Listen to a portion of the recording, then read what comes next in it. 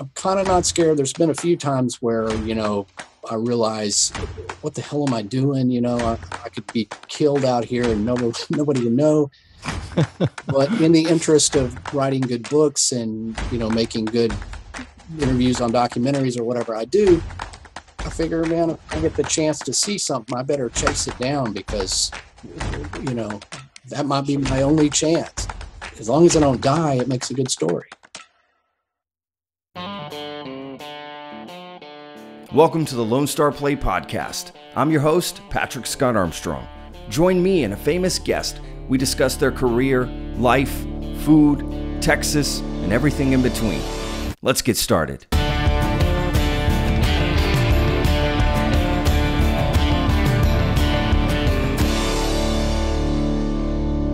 Hi, guys. Welcome to another episode of the Lone Star Plate Podcast. I'm your host, Patrick Scott Armstrong. What an amazing episode. Who's this a picture of? Huh? Let me check. My phone keeps ringing. I'm sorry, guys. Hang on one second here. Jeez, I'm professional, Patrick. That's Bigfoot. Anyway, uh, Bigfoot right here, the man of hair. Um, Yeti could be a different thing, I guess, but uh, Bigfoot. You know, Harry and the Hendersons. Um, we've all heard stories about this. I can't stop looking at this picture. Um, you know, there's many pictures of of uh, what Bigfoot looks like. This one was just like scary and sort of, you know, growling. Look at that face. I mean, oh, ew.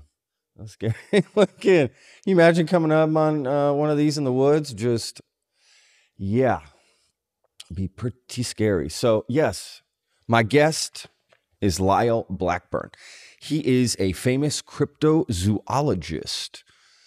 What is cryptozoology? We break it down in this podcast. So by the end of this podcast, you'll know exactly what cryptozoology is. And Lyle Blackburn is a very uh, reputable, famous um, cryptozoologist. So, um, you know, yeah, basically studies, you know, these this phenomenon and stuff. So Bigfoot, Loch Ness monster, um, you know, different sightings of different monsters. Um, you know, whether it be he talked about like a dinosaur in the Congo. You know, I don't know. Okay, it's got some name. I, I don't know. You know, I don't know. Look, my mind is open, right? Um, it was a very interesting conversation. You know, we talked about all these things. Obviously, Bigfoot's like the number one sort of like mythical monster that's out there, right? That that, that people uh, know about. Um, and I don't think there's one person on the planet who's uh, at least America, like who hasn't heard of Bigfoot. Who hasn't heard of Bigfoot? There's been sightings in Texas. In fact, he said there's a ton of sightings in Texas for Bigfoot. I found that fascinating. I didn't know that. They have conferences, you know, it's a big deal, obviously, right? So is it real? Is it not the idea that there could be some species that has somehow managed to elude us uh, this whole time, so, like this particular. I know we're finding species all the time, but usually it's like a little spider or, you know, whatever, a little critter, right, that runs around, uh, sort of thing. Nothing is like big and majestic as this, and um, you know, who knows? It's definitely um, uh, quite fascinating, and I love talking about it. So it was really cool to talk to about somebody who really knows about it. You know, you'll bullshit with your friends right over a couple beers or or whatever. But that's not the same. Um, yeah, I love this. I, you know, I actually I really enjoyed this podcast. To be honest with you, it was really fun to talk to him, and uh, you know, I wasn't here to like poke fun or this or that or or let's giggle about it. It was like, dude, this is what this guy does. You know, he takes it very seriously, and and therefore I take it very seriously. Um, and he's a great guy. You know, I, I honestly could, you know, would love to have him back on to talk about more things and more honestly, even after we did the podcast, like all of a sudden I started to see all these different things in the news. Maybe like that I didn't notice before, right? It was like, damn, boom, boom, boom, all these different things and all these things popped up on my YouTube as well that were just like pointing me to it. Um, that's the algorithm, y'all. We're being watched. Okay you know so yeah it, look th- this is is quite fascinating so you know do you believe in bigfoot do you believe in the loch ness monster do you believe in these you know these otherworldly not even otherworldly our worldly things um and it is quite fascinating. So this is not about UFOs. This is not about ghosts, although they're in the same sort of, you know, category of you know unknown things or you know things we're searching for the answers to, right? So, but this is specifically about those type of um, monsters. I mean, he called them monsters too. So, you know, that idea. I mean, just the thought of monsters, that sounds, you know, that sounds scary. But uh, yeah, had a lot of fun with it. It was really cool, um, and just really enjoyed Lyle's uh, professionalism and his expertise and knowledge on this. And look, you know that famous uh, Bigfoot video? Everyone knows that video, okay? Of it's like from the 50s or something, right? It's in the river. And you see like the the you know, we'll we'll show a clip of the of this video, a little section of it. You see the guy walking, you know, well, the guy, Bigfoot walking across, and it's like the most well-known video. And to this day, to this day, that's like the best video there is of Bigfoot to this day. And Lyle knows the guy that that filmed it, the camera guy. And that guy swears up and down that that was real because there was all this stuff that came out about, well, it was a guy in a suit and, you know, it was a hoax and blah, blah, blah. And I heard that my whole life growing up.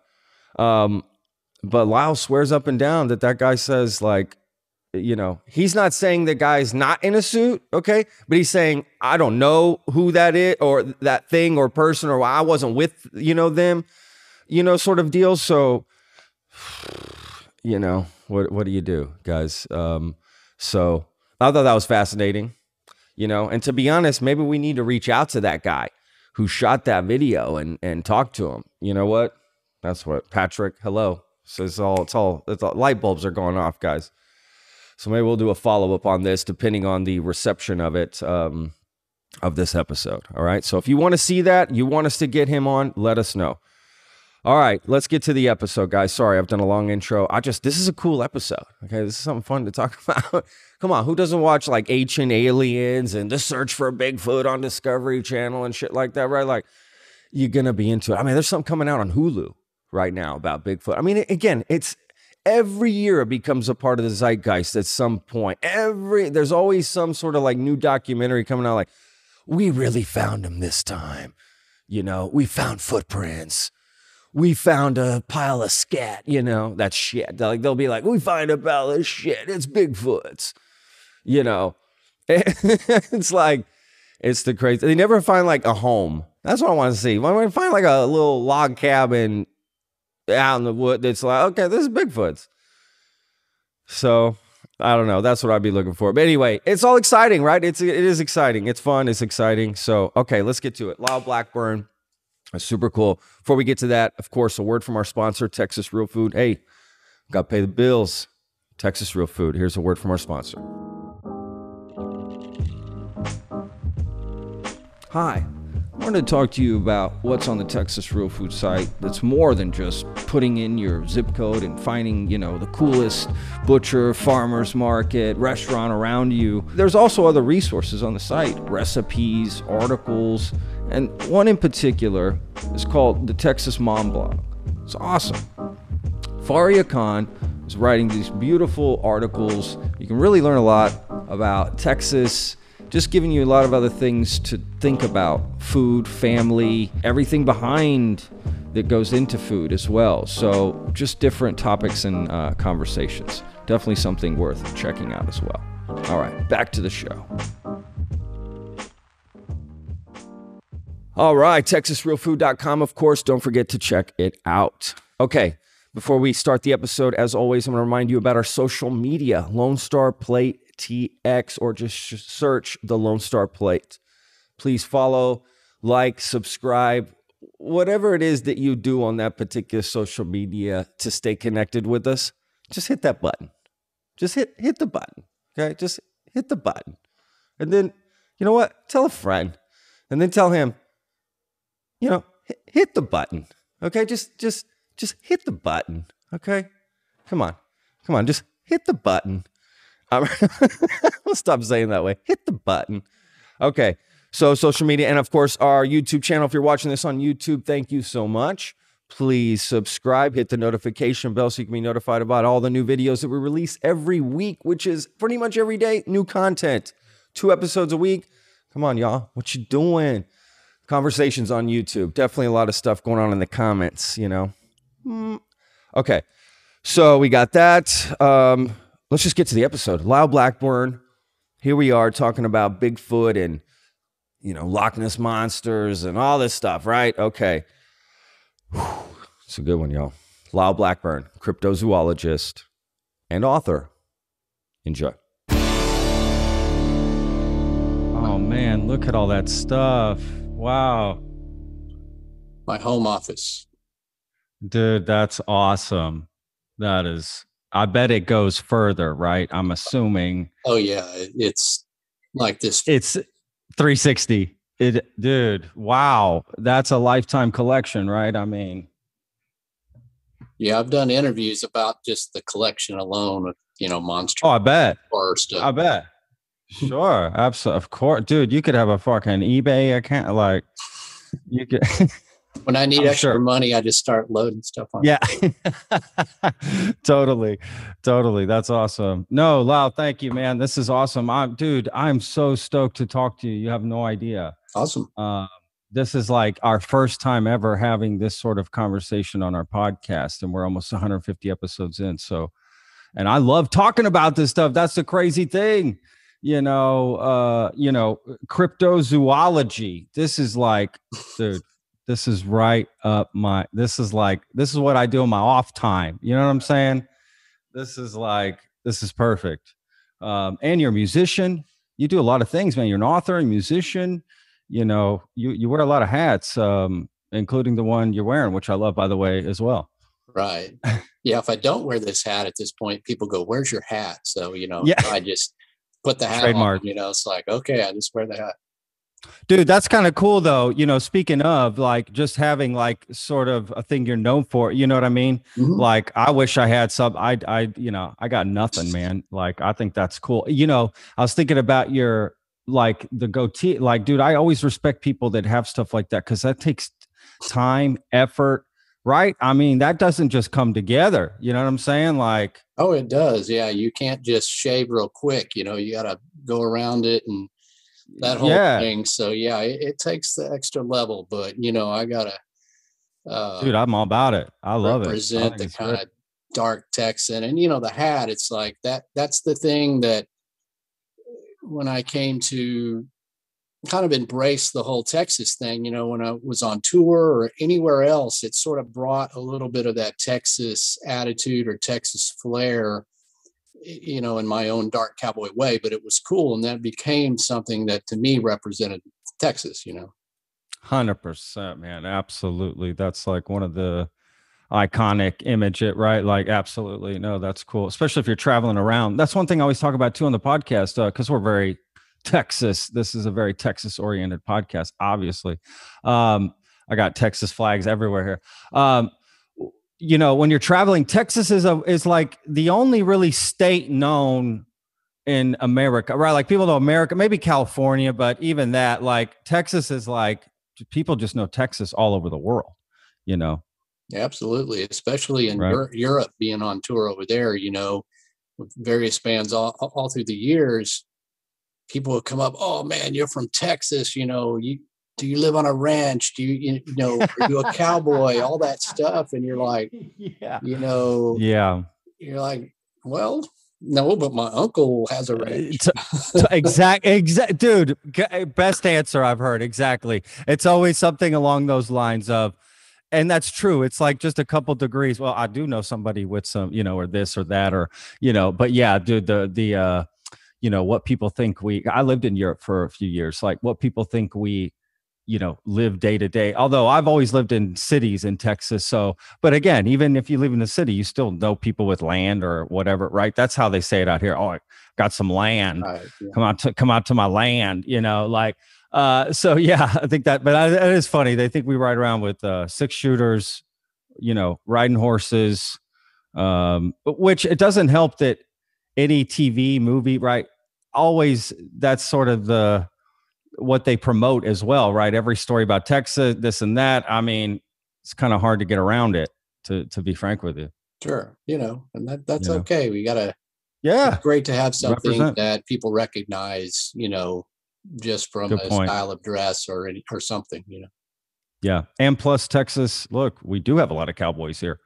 I mean, there's Uh, just no no, you know, we're big supporters of ranchers and uh, farms here, you know, in the states. And uh, yeah, shit, I've had them on the podcast. Uh, the the real deal, you know, uh, those are tough guys. You want to talk about tough guys? Those are tough guys. You know, the real real deal. It, it like I see like uh, I've been watching a lot of UFC lately. You know, MMA that that sort of stuff. It's been in the news, so I've been watching it. Whatever, and they are tough guys. Um, but like I do think about that, like real tough guys, day to day. You know what I mean? That really put in the work. It's it's those type of guys, man. That that uh, you know keep this state and keep this country going. To be frank. Absolutely. So anyway, man, uh, Lyle, let's get back to uh, uh, you know, while we have you on, man. Um, look, let's talk a little bit about where you're from in Texas. Um, wh- where'd you did you grow up in Texas? Here, were you born here? I did. I was born in Fort Worth, and my grandparents had a long history uh, there. And my grandfather worked for Swift and Armour Company, which was some of the uh, beef exports and things coming in and out of the railways in Fort Worth. Uh, when I was a little bit after I was born, my parents moved to a suburb of Fort Worth. So that was right in between Dallas and Fort Worth. So I grew up there, and you know, What was that? Here, What what was that called? Euless. It's called Hurst Euless Bedford, and Euless is the city I live. That's where I grew up. really I grew up in yeah, I grew up in Euless, man. That's crazy. No How kidding. crazy is that? Yeah, Yeah, from uh from when I was like six to eleven or so. We lived there about five years. But I went to school in the Grapevine Colleyville Oh, okay. school district, right? So I'm Okay. Bedford. I live I've Yeah, lived yeah. in Bedford. I've had apartments there. Yeah, absolutely. Man, that's crazy. Yeah, most people don't know that little uh community, but it's thriving. It's totally changed oh yeah uh it's, now. it's just one giant city now because you know I grew up there and then I moved to Dallas you know in my late teens and I lived there Yeah. most of the time but I've since moved back because it's a little more easy going but really I mean from Fort Worth to Dallas it's just one giant metropolitan Totally. area you know? Yeah, that's why you say DFW here, right? It's like DFW. Yeah. It's like absolutely. It's because it's all in between connected, and now it's going north south, right? It's just Oh, yeah. It's cra- yeah, it's getting crazy uh, out here. Okay, so that's awesome. So you grew up in Texas. Um, what made you sort of get into this sort of thing that is crypto uh, zoology? First of all, I guess we should define what what that is exactly. What what does that mean to somebody saying that? Well, it, it's sort of a, a default title for somebody who researches unproven animals. Uh, you know, most well known like Bigfoot, Loch Ness Monster, Mothman. There's a lot of these creatures that people report sightings, but there's no definitive proof to say they do or don't exist. So, you know, growing up in Texas, I was exposed to a lot of legends, even some of them local, like the Lake Worth monster, uh, just close to Fort Worth, which was said to be this sort of white, hairy goat man, sas- Sasquatch type creature. oh, Um, really? the Legend of Oh, Boggy wow. Creek, which was a famous movie and creature said to live in southern Arkansas, just across near Texarkana. Uh, Okay, it was a Sasquatch yeah. creature. I was looking at that one Um, online. East Texas, believe it or not, has a lot of Bigfoot sightings. So I, my, Oh, my really? was a hunter. So I was kind of into that rural outdoors life. And as a kid, I just loved monsters, monster movies. And then I, you know, when I heard of Bigfoot, I thought, oh my gosh, you know, something like that could be in the woods. you think? Do you think Bigfoot is the is the most well known like of them Oh, of all of them, or what do you think? Yeah, Bigfoot, Bigfoot? you know, which most people think lives in the Pacific Northwest, but with the TV shows and stuff now, obviously people are aware there's sightings of these type creatures everywhere. So yeah, I was just enamored with this stuff as a kid. And eh, I, I, became a musician and a slash writer, and I remember being in tour buses and stuff, and I'd be reading Bigfoot books or whatever. And, yeah, you know, just following, learning about just the whole phenomenon of people seeing a creature that you know may or may not exist in the woods. So it was just oh, it's exciting. I, I, mean, that stuff's exciting. Who is not interested in that? That stuff draws in big number, right? I mean, you mentioned Bigfoot. I mean, no matter what where you stand on or whatever you believe, you still the conversation is still uh, inviting and sort of contagious and um, any sort of new discovery or whatever. It just sort of makes you think about it a little bit more. You know, the what if uh, possibility. You know what I mean? Because you can't ever discount it. It's hard to really just disprove forever right? So it, it, the the the the sort of lore or legend can sort of live on forever you know what i mean? Yeah that's sort of exciting. it's just one of those things if you i mean if you just look at you know cable network tv how many shows on there are covering things like bigfoot mothman lake monsters 100%. river monsters. It goes on and on. So there, there's a definite interest in it. Just whether whether you totally believe or whether you're just like, wow, what is it these people are saying they saw? That's me. That's where I'm at. I'm just I'm open. I'm open to the idea. I'm open to anything, to be honest with you know what I mean? I mean, that's just the truth. I'm open to it, of course. I mean, it doesn't sound that far fetched, the idea of a Bigfoot or a community of Bigfoots, right? Like, eh, you know, uh, that that's that sounds pl- totally plausible. Um, the, the only thing I guess, you know, we can, this is where I'd like to dive in. What, what are some of the biggest um, hurdles, right? Or, or questions you get that go against it, right? I guess the big one would be, why haven't we found them yet, right? Like we're sort of all over the planet. We're so, we got camera, we got, why wouldn't we have some sort of definitive evidence by now? But they also said the same thing about aliens. And look where we're headed down that road right now. You know, so I don't know.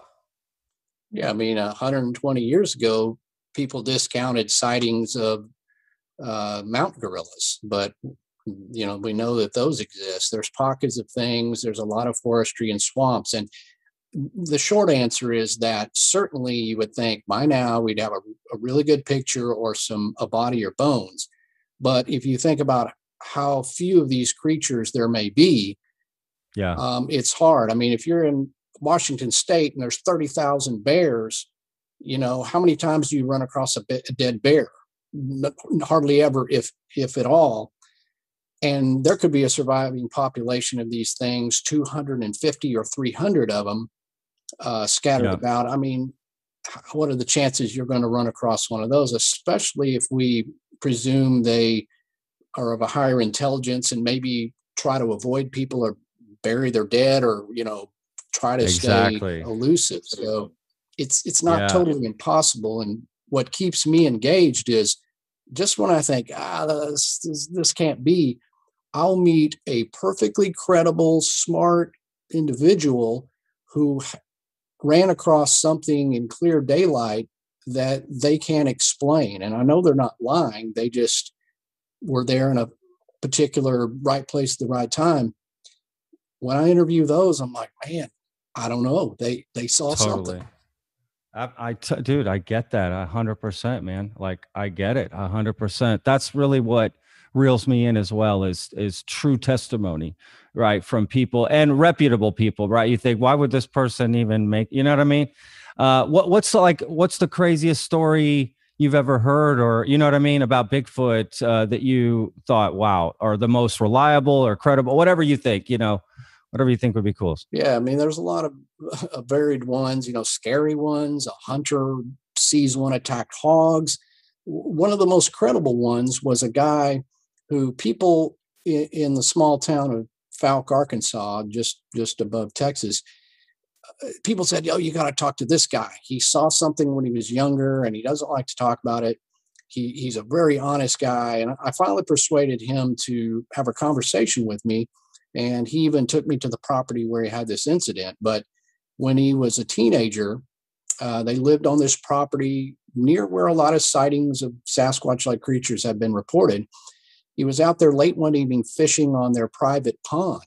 and he heard something kind of walking in the leaves. It was late February, a lot of leaf litter. He heard something crunching around. He thought, uh, it, it sounds big. It could be the neighbor's bull got out or something, you know, because no persons would be really trespassing through there. It was private land. It's kind of uh, you know, remote. And he said all of a sudden he looked up and he saw this ape-like creature which stood upright, walked on two legs, was about between six and seven feet tall, walk over an embankment. It was walking and did not see him because he's sitting in the boat quiet because he's fishing. The thing just walked up and it was about 60 feet from him. It walked up and over an embankment and disappeared. And of course, this guy just, you know, was frightened beyond measure. I mean, to look at something yeah. like that and to realize it's not a person, it's not a person in a suit, it's some kind of animal. I mean, this guy just, you know, freaked out, rode to the edge of the uh, pond. And when he made noise, the steps stopped. And at that oh, point, Jesus. he got out and he heard the thing take off running, and he took off running for the house. But uh, hell yeah, I would have taken off running. Are you kidding me? Hell yeah. I just oh, felt man. I got to know this individual, and I mean, he's he's definitely not making this up. Uh, he's very credible. He's just an, a normal guy, has a family, yeah. takes his kids to baseball games. Just no reason to make this up, and he wasn't seeking publicity. So those are the accounts where I'm like, man, I don't know how to explain what he saw, but he definitely saw something that doesn't fit in our known, you know, box. Yeah, dude. And how many people you think don't say something because right? They just think, oh, people are gonna make fun of it, right? Or whatever. They're just the story stays with them.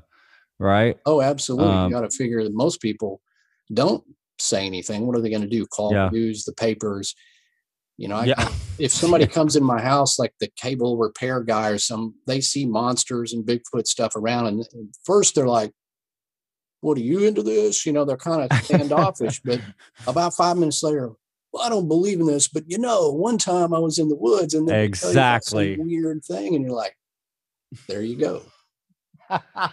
totally, absolutely. Oh man, wow, what a crazy story! Absolutely, I would have been scared, frightened. There's no uh, doubt about it. And look, anyone who's been out like deep in the woods or camping or this and that just knows like there's just things we don't have all the answers to, right? I mean, look at the ocean, for instance, right? Like we don't know everything that's going on in there. So I, I, I would even be, yeah, pressed to say on land as well. We just don't know everything that's out there. And yeah, absolutely. Story, these testimonials of of people, those are the most uh, compelling uh, for sure. Have you personally ever had any experiences?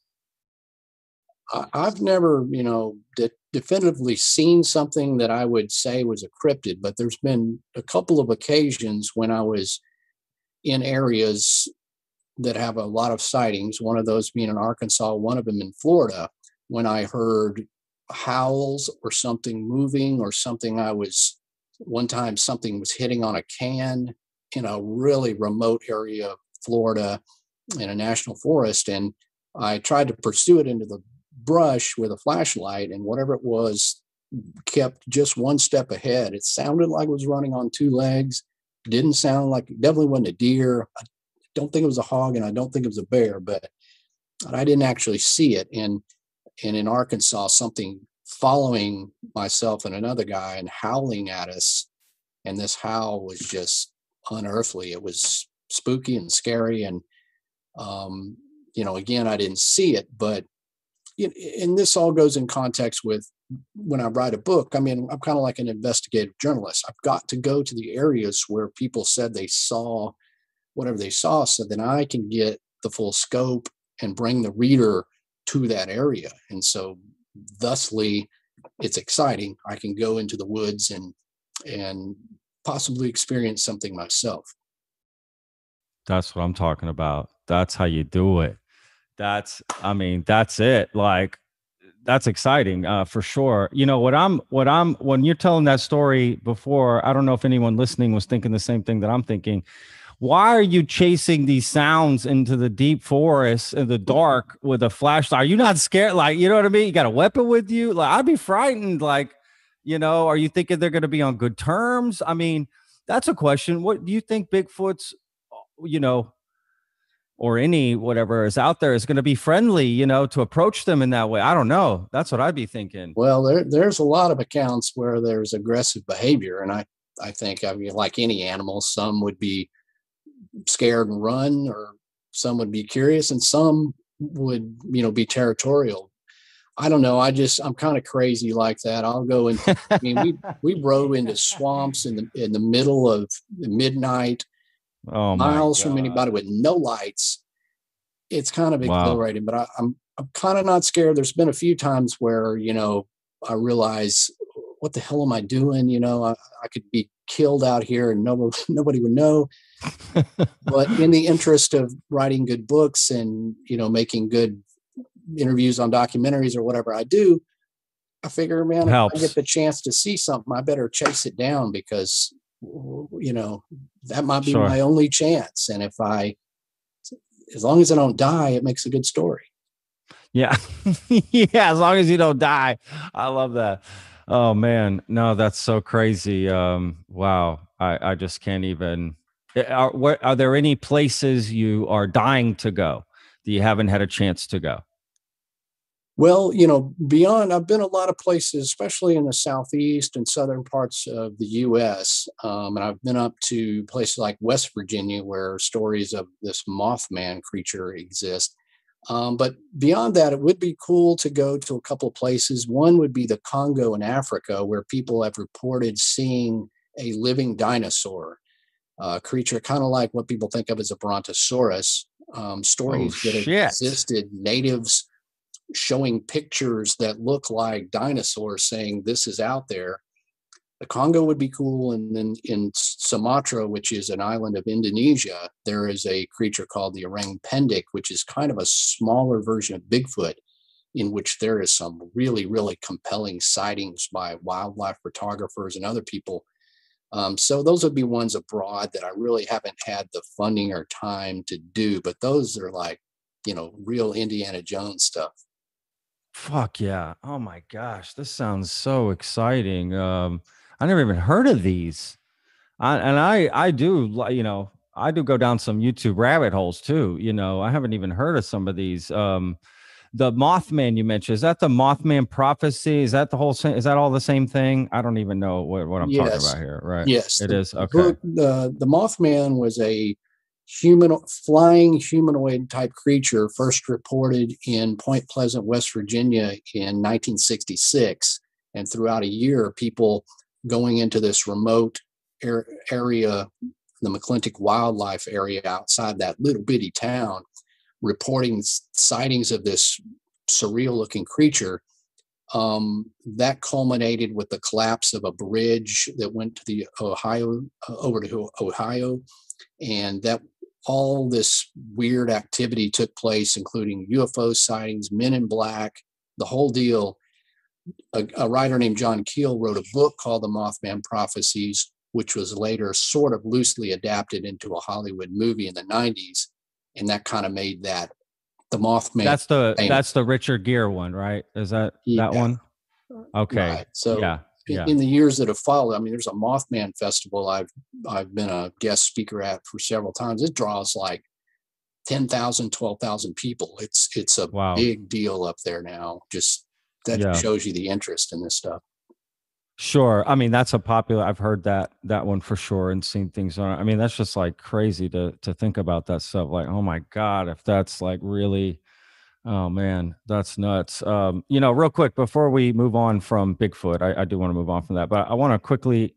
I, I don't think we really explain what is Bigfoot, but what people think it is, or where it comes from. Well, I mean, obviously, there's several theories that have been proposed. The first kind of ground level one was that it was some sort of uh, primate um, uh, or a hominid, some kind of offshoot. You know, people you say missing link, but truly, there's a lot of diverse branches of our own hominoid hominids that you know could have been in in the ape species or or a relic hominoid in recent years, you know, and probably because we've had so much trouble maybe proving these things, people have proposed that either, you know, they're aliens or they're coming from another dimension and and they're supernatural creatures, stuff like that. But I mean, there's no more proof of that than there is that it's simply a undiscovered uh, hominoid. But that's quite a leap, right? Like to think it's just an animal we haven't discovered yet to it's coming from another dimension, right? Because that requires you to now have a belief in another idea, right? Which is multiple dimensions, right? Or if it was aliens, right? Now you have to have this other belief as well. Um, so yeah, okay, I get it. There's all these yeah. different. Um, and to me, that stuff, ha- you know, I mean, it's already seems improbable or fantastic that a that a creature like that could exist a biological creature that we haven't discovered. But to say they come in through portals, I mean, why is it that they're always sighted in places where large animals could be? They're not like coming out of a portal in the Walmart parking lot. Yeah. down on my street, you know, because a portal wouldn't, why would it always intersect with that? Or if it's aliens, you know, Bigfoot is so derivative of, of a humanoid, of so much of a terrestrial design. Yeah. People have reported sightings of wild men for hundreds and hundreds of years, and the Native Americans have stories. So I just feel like it, you know, it's not a UFO thing. And I don't know about the portals. I just think they would pop up, you know, right here oh. while we're doing a podcast. Yeah. no, uh, that makes a lot of sense. Um, no, I, I think it, you know, the, I mean, the most fascinating theory to me is just this, uh, species we haven't discovered yet. But it's you know it's intelligent. It elude the idea that it eludes us is a big deal, right? Because that would uh, lean into the idea of why we haven't found them yet. You know what I mean? I mean that's a big deal. If the animals, you know, they don't want to be found, there's really small numbers in comparison, um, and we're still discovering species. Um, yeah, that that definitely seems the most um, likely, but it still seems likely you know i mean yeah and, it, and, and for me uh, you know i got to point out that it's equally as fascinating about the creature itself as it is just the whole phenomenon that somebody in modern times would report seeing a monster. 100% and like in the case of point pleasant where the mothman that it has transformed into this cultural uh, icon of their area and there's festivals. So it's like a phenomenon that affects people and towns. Whether the creature is real or not, it is something that is a part of our, you know, collective uh, culture.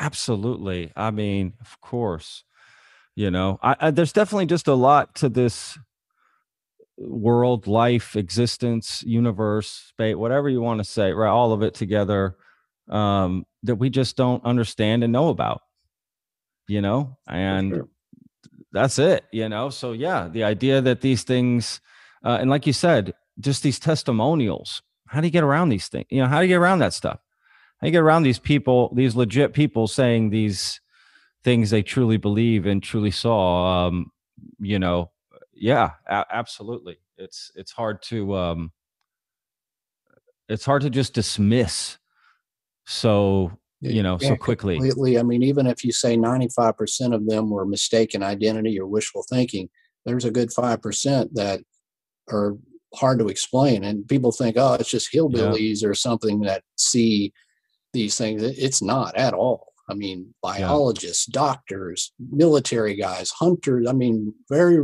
reputable, your neighbor next door kind of thing. Absolutely. Oh my gosh, absolutely. I remember that famous video, and I, as most people probably do, I don't even know what it was called. I can't. I, I want to say it was shot in the seventies or something. Nineteen fifty seven. It's the Patterson Gimlin oh, film. Okay, that's what it's called. Can you can you repeat the name of it again? I'm sorry. It's called the Patterson Gimlin film. Got it. Roger Patterson and Bob Gimlin were two guys doing some early Bigfoot research on the West Coast, and they went into the woods of Northern California near Bluff Creek back in October of 1967 because there had been some reports of huge footprints. The loggers and guys up there had had found these weird prints. They went there, they had a camera, and were perhaps fortunate enough to capture one of these on film. And that has never been disproven. I mean, there's you know claims of I was in the suit. There's this and that, but there's no definitive proof either way to whether that's a, a person in a suit or whether that's a real creature. But Roger uh, Roger Patterson died back in the 70s, but Bob Gimlin is still alive, and I've met Bob and know Bob is a friend of mine, and he still sticks behind the story that, as far as what he saw, it was a real animal, and and that's all there is to it, and and so it's kind oh, of become wow. the icon of Bigfoot, you know, the the pose when it turns around and looks. Yeah, absolutely. I mean, it's honestly, it's almost as famous as like the Zapruder film. You know what I mean? It's like really like everybody's seen that film, everybody's seen that clip. You know, uh, well, that's compelling. So, wow. So you know him, he's your friend, and he says he sticks by that story that that's legit. Wow. He does. I'm blown. He, I'm blown away right now, Lyle. I'm not gonna lie. I'm blown away right now. And and wow. and you, sh- I should say that he was never privy to any money. He never received anything from that film. So you would think that uh, if he was, why would he hold fast to the story that it's true if it was indeed a hoax? Because um, he was cut out of the money. Basically, Roger Patterson, his family owns the rights and gets residuals. And you're right, that's so famous. You could show that to anybody and go, "What is this?" People go, "Bigfoot." Yeah, um, that's so recognizable, like the Zapruder film. But Bob Gimlin never made any money off of it. But you know, he's still just you know is wow. an honest rancher kind of guy who lives in Washington yeah. State and says, unless I was being fooled or something, that's that was a real creature. I mean, that is just crazy. No, that's nuts. Um, you know, he's like the Bob Lazar of the Bigfoot, right? Like the story, it's old, and like all these things start to come out that sort of prove it's true as time goes on. You're like, damn, man, he's and he said the same story for years. You know, never changed anything, and um, that to me is very compelling too, right? That somebody's story just inevitably just doesn't change just stays as they stick by it over a long, long period of time. Um, you know, wow, man, that's fascinating. That is absolutely fascinating. Gosh, I'm I'm still I'm blown away by that. Uh, cause yeah, that that footage is so um up in the air. You know, it's always um they've shown it in documentary, you know, Discovery History Channel stuff um, breaking it down. It look that is the and still to this day, it almost seems like the most real footage I've still seen to this day. You know, yeah, it's, still, still, that footage remains the best. Which you know, yeah. Uh, and that's the thing. That's kind of crazy, right? That's kind of crazy after all these years. There's been, you know, people saying, "Oh, well, that that was I helped make the suit, or I did this or that," and they tried to recreate it on some I won't say the network, but one of these big shows, they said, oh, we can recreate that. They tried, and this was the guy who said it was his modified gorilla suit. They tried to recreate it. You look at the thing and you immediately go, it's a guy in a suit. It doesn't even remotely compare to the, you know, the realism of what you see in the Patterson Gimlin film. So I'm like, if we can't recreate that now with a network budget in modern times, how did they do that in 1967? Absolutely. I mean, exactly. It's like, uh, oh man, yeah, absolutely, hundred percent. Wow, that's fat. That's just absolutely fascinating. Um, you know, speaking of Texas, I, I don't want to get too caught up on Bigfoot, but I absolutely love talking about Bigfoot. God, that's so fascinating. Uh, my nephews have been into Bigfoot. He's been, he's only six. He's in first grade.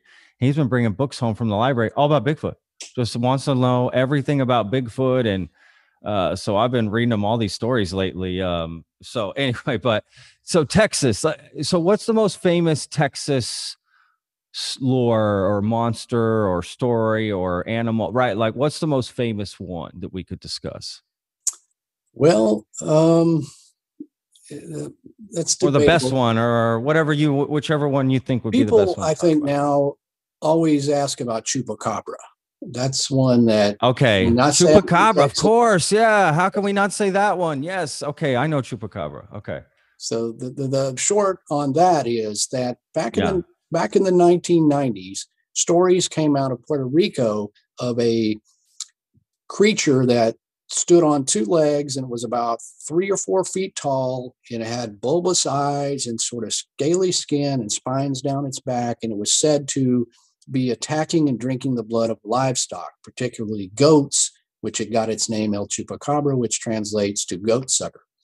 Well in the 2000s there began to be sightings in texas and other parts of the south southeast and southwest of a four-legged canid looking creature which had no no hair it had pointy ears and elongated snout and looked like a really scary looking coyote and the media called that God. chupacabra which isn't Oh exactly God. what was reported initially in the latin american countries but anyway that's since become just sort of an icon of the weird creatures of texas and there have been studies and bodies found and photos of this, which are not definitive yet, but have shown that it's possibly a hybrid between a uh, a Mexican wolf and a coyote or something like that um, to create this bizarre hybrid canid thing that could very well be feeding on livestock.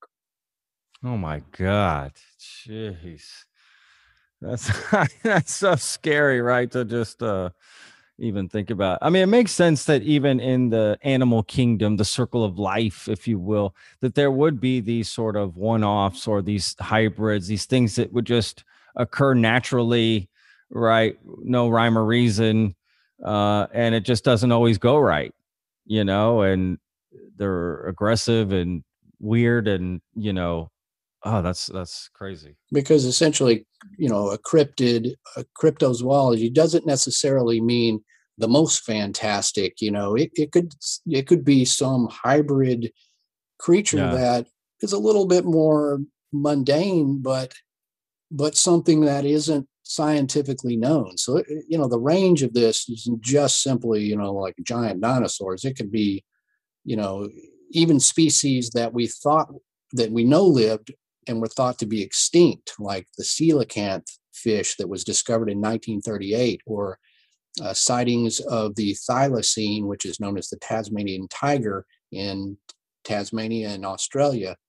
Those have gone extinct, but people report sightings of them. So there's a big range of all kinds of weird creatures out there in the world that fall into this category. No, that's crazy. I mean, especially you mentioned a dinosaur earlier. Somebody there, there's there's of a dinosaur walking around Jurassic Park shit happening. Yeah, there's a That's couple of cra- those. The there's one known as Mokele-mbembe, which is the brontosaurus looking type thing in the Congo.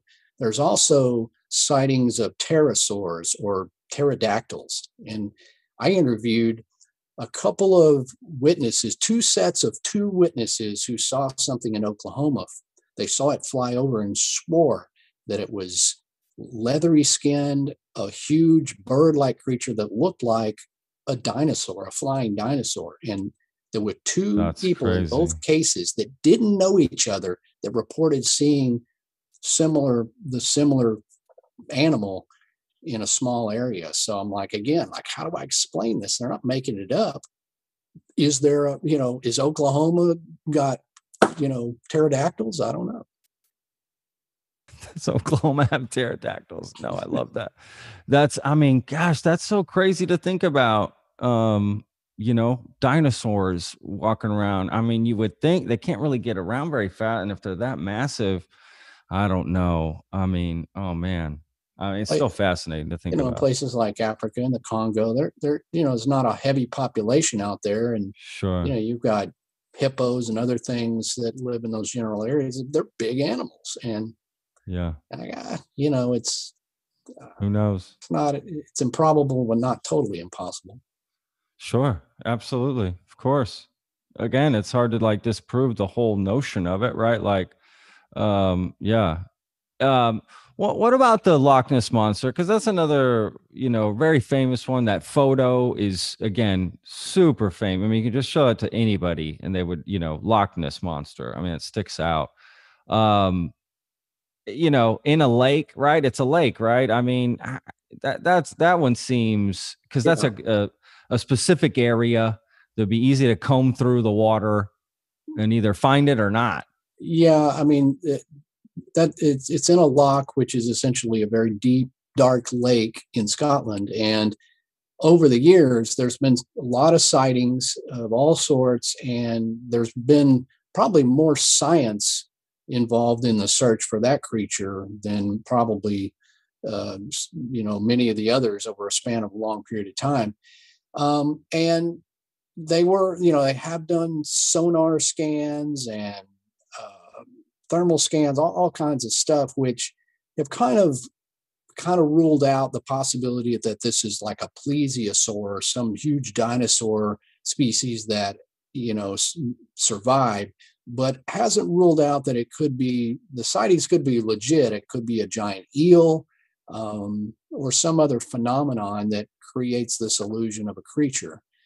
Um, oh, there's I also okay. a way that there is a exit to the sea at certain times. So there is theories that perhaps it's something that's come in from the wider oh, ocean.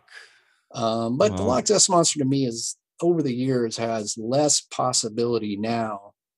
Bigfoot still remains a big one. Loch Ness is kind of it's more enclosed. It's easier to say, you know, there's not a big dinosaur in here, but you know, it's still it's still a strange phenomenon. Absolutely. Well, are there anything I'm like not any monsters or monster? I hate to say that. That sounds so like demeaning or something. I don't mean it that way. Any uh lore or myths that we that you'd like to discuss that you think would be cool for our listeners or anything we haven't discussed? Um, you know, talking about monsters, it, you know, I, I think it's cool to call it monsters. I mean, that's kind of the buzzword that attracts people to it. But ultimately, yeah, it's like a, when you, when you're a kid, it's like uh, monsters, Loch Ness monster, yeah. and Bigfoot's a monster, Yeti. But as you become an adult, you you look at a little bit more like, well, is this a creature? You know, maybe it's not as fantastic as we think. We may discover a Bigfoot and realize they're only six feet tall, not eight feet tall, because if you see something like that in the woods, you're going to go, "Oh my God!" You know, it was huge. you know, but I, I, think in terms of Texas, you know, like I said, there there's some really cool legends. Um, the Lake Worth monster, which uh, back in 1969, people outside of Lake Worth, which is only about uh, 30 minutes from where I lived in Euless and towards Fort Worth, people began reporting this strange goat man type creature. And uh, it got a lot of coverage in the Fort Worth Star Telegram. And ever since then, it's like something that's just gone on and on. I mean, I've done a I've done a segment of Monsters and Mysteries in America television show that covered the Lake Worth monster. Like, wow, people still remember this. And um, you know, occasionally I get people contacting me saying, you know, I was there back in 1969 and I saw something in the woods that I couldn't, you know, identify, and there was something out there attacking people. Um, and, and then becomes a fabric of, of this area in Fort Worth. And then East Texas is huge with Bigfoot because, you know, like I said, we were talking about traveling around. People think, yeah. oh, Texas is like a desolate cowboy you know, looking uh, terrain. But East Texas, the piney woods, has you know miles and miles of forestry and even swamplands. And there has been a long history of sightings of, of Bigfoot-like creatures out there. Uh, the little town of Jefferson, Texas, which is also known for being haunted with a lot of ghost activity. That's the the Bigfoot capital of Texas, and they host a a Bigfoot Festival out there every year in October. People come from miles and other states. Oh, really? And uh, th- it's a phenomenon that goes on. People love. Oh, wow. I didn't know that. I didn't know there's a big festival for Bigfoot in in where where'd you say it was Jefferson? Yeah, it's called the Texas Bigfoot Conference, and it happens around mid October each year in Jefferson, Texas. Wow. So wow, you know, it just again, it just shows you that people the uh, stories there. You can right? find local legends anywhere of just strange and fantastic things, and it's to me, I think it, people love that idea that there is still some mystery in the world. You know, there's still things we don't exactly know. You know, and that could range from things that are in our own backyard or our woodlands, like Bigfoot, and of course, you know, are there aliens? Are there things visiting? All this phenomenon that I think gives people something to study and research and think about outside the mundane, scarier world of politics and pandemics and all this other stuff. It's like, you know, those are the known things that exist that, you know, go on and on. But these other things have open possibilities and there's possibilities of discovery. So I think it's appealing for that reason. I mean, hundred percent. I totally agree with that.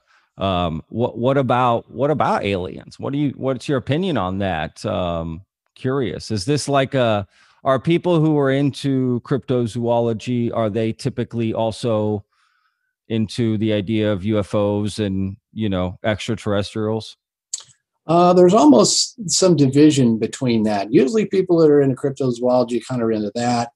People that are really into UFOs are into that. And then you got, you know, sort of the ghost hunters you know they do cross and merge but um you know for the most part you know it's just something there's so much to these topics sure. that you could just delve in and stay within that zone uh, for yeah. me personally i mean of course i i think that the possible I, I mean i can say almost certainly we're probably not alone in the universe and it's huge and vast there is no way to know um, really very much beyond our own planet that we can be certain of. And, and certainly there could be visitors that have come here. There can be any number of ways they could come here.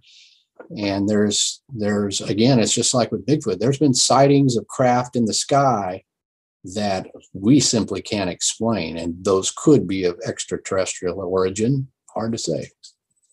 I mean, there is like compelling video footage now, hmm. right? Like really compelling stuff that's come out in the last few years that's kind of hard to dismiss. Again, just, you know, just dismiss it like, well, that's nothing. It's like, uh, hello. Yeah. A lot of the top people, right, are saying, we don't know what this is. Uh, how, you know, it's like, how can any normal person just know more than them? So I just trust these people, right, saying, I just don't know what this is uh yeah but the video footage that's come out i mean even just in the past week and a half or something did you see that uh like night vision video they released? Oh i haven't seen that. Oh gosh it's like a navy the navy released it. I mean again these is like the government is releasing this footage now. And it's night vision footage over a warship. Uh they're just you know a couple hundred meters above them and it's three like triangular, like pyramid shaped objects just floating. You see it floating. I mean, it's the craziest looking footage. I mean, it's almost, it's almost just mind bogglingly like they're saying they don't know what it is flying over a warship, right? And they have video footage of it. Yeah. Why is this not what everyone's talking about? I don't get it's like, what is this thing? Um, that's fascinating. I mean, that's gonna to me, that almost lends credence to other things like you know these other potential creatures that you know it almost lends credence to see look we don't know everything. We don't have all the answers. Yeah you know? absolutely true. We don't know and something like this comes out and it, you know it you know that involves a lot of conspiracy and stuff because you can't be sure if the government is just saying they don't know what it is or they do and they don't want to say because you know we got homeland security and what have you. Sure. Or or they don't just simply don't know. And so there's always that distrust distrust kind of thing going on with UFOs. But nonetheless, sure. there's something on that film that so far it can't be explained. And there's been several, you know, really, really good UFO uh, footage captured that remains to this day uh, a total mystery. Absolutely. And again, there's there's still compelling video footage as well and stories uh from right from these other things bigfoot and and whatever else you know whatever you want to say right? There's there's uh, again compelling th- those are again the most compelling to me right? Just people talking about ufos too. When i hear you know people that I know are not insane and they're telling this story. I mean, just to be blunt about it, right? Like that, they're telling this story. I just believe it. It's just like, why would they lie about that? You know, you can just tell they believe it. And that goes with any number of things, right? Whatever the subject is that they're talking about, uh, it's hard to just dismiss these things. I mean, it really, it is. It's You- and, you and that's fascinating. You can't disprove it. You can't. It, it- Yeah, You may not be able to prove it, but you can't disprove it. So therefore, it just sort of goes on and on with a perpetual mystery. yeah, exact, exactly. That's exactly that. Yeah, yeah, absolutely. Yeah, you can't get rid of the the lore because it's too hard to disprove. But again, that mystery should stay open. These these things should, you know, it's not like we should forever shut the door on it. You know, um, it should still remain um, something that's discussed and open. And again, as long as people still keep having sightings and bringing things to the table, you sort of have to keep revisiting uh, the conversation, right? I mean, at this Mhm. point, Absolutely. you know, what has there been? Um, what's recent? In is there been anything in recent news that's sort of piqued your interest um, about anything in particular? Uh, I mean, there's there's always sort of an ongoing, you know, Bigfoot photo or something that's been out there. Um, It doesn't even have to be Bigfoot. Anything. I mean, just anything in recent news. It, it doesn't even have to. Be. Um, you know, not too much. I, I've kind of been exploring. I've been researching some.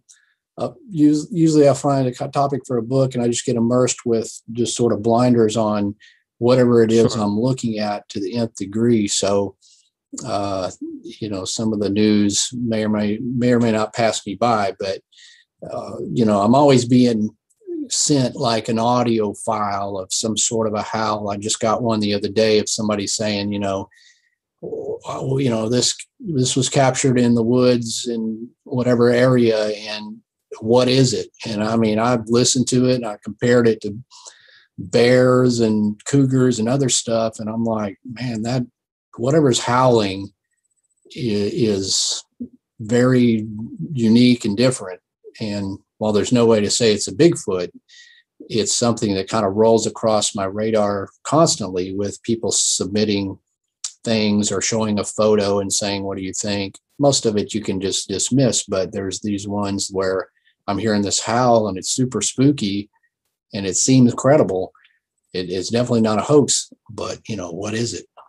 But what is it? Yeah. Oh man, there's nothing worse than a fucking howl if you're out, you know, in the dark in the woods and you don't know what it is. I mean, are you kidding me? Ah. It can be very That's scary. I mean, I've heard howls like that, and I can only imagine if you're just sort of, you know, out there with the family for a rugged outdoor weekend, and then you hear that in the woods, you're like, hmm, maybe we picked the wrong place to camp. Oh, uh, honey, kids, pack it up. right. That's uh oh my gosh. Yeah, that's insane. Um, well, I'll tell everyone um, you know, first of all, you know, how to any sort of thing you got coming up you want people to know about, you, anything any place you want to send people to check out anything, you know, I'll let you sort of handle that that uh that angle right now. What do you think? Uh, okay. Um, on May 1st, I'll be at the Ohio Bigfoot Conference, which is a huge conference that happens every year um, in Ohio. And there's a list of all my appearances on my website at lyleblackburn.com. Um, there's some coming up closer to the Texas area, the Fouke Monster Festival on June 19th. There, there's just really fun stuff out there if you want to. Uh, you know, th- these things are kind of getting going again. I mean, obviously last year was Sure. a bust, but some of these, Yeah. in a certain extent, uh, are cranking up to you know get people out and doing stuff.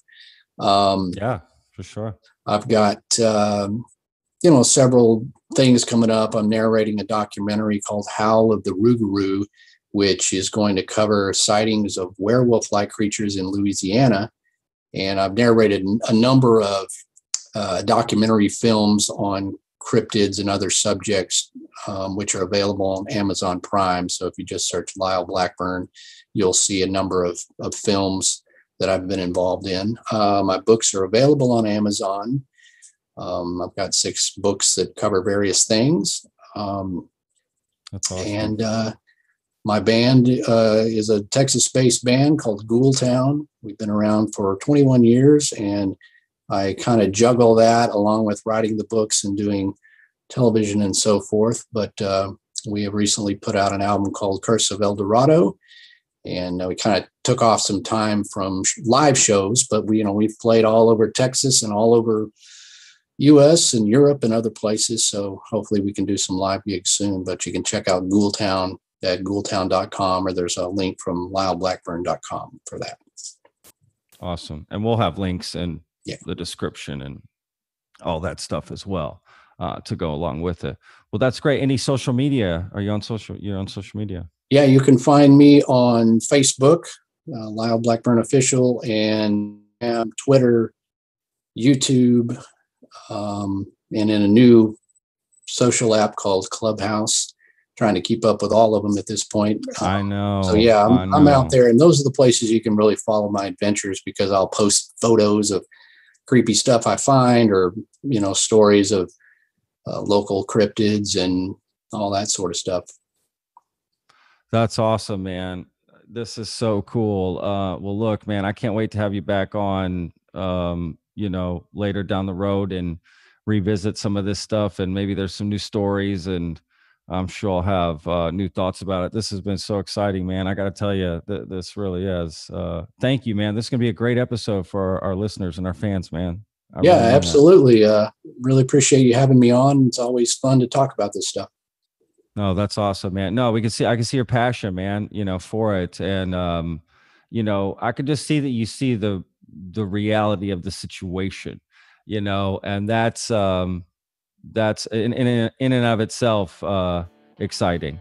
Um, so yeah, man, no, this is just such cool stuff. And again, whether you believe in it or not, it's still fun and exciting to talk about. And the idea of it um, is exciting. Um, so yeah, this has just been super cool, man. So I really do appreciate you taking the time today. Well, really do appreciate it. Absolutely. The Lone Star Plate podcast is produced by Texas Real Food. Go to texasrealfood.com and you can search your city for stores butchers, restaurants, farmers markets, and more who are using fresh, artisanal, organic sources. It's a fun site that brings all natural options all together. I hope you enjoyed this episode. For more information, go to thelonestarplate.com. I'm your host, Patrick Scott Armstrong. Until next time.